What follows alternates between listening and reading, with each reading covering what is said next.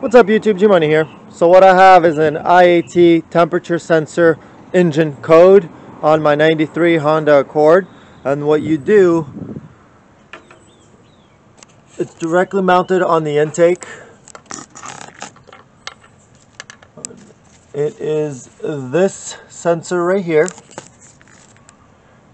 And all it takes is two Phillips head screwdriver, uh, two Phillips head screws to remove, then the whole sensor comes out.